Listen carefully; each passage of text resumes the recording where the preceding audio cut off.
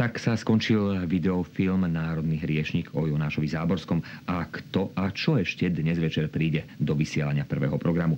William Turčány v cykle Portréty Svet 24, no a približne o 22. hodine 25. minúte mexický film Lži.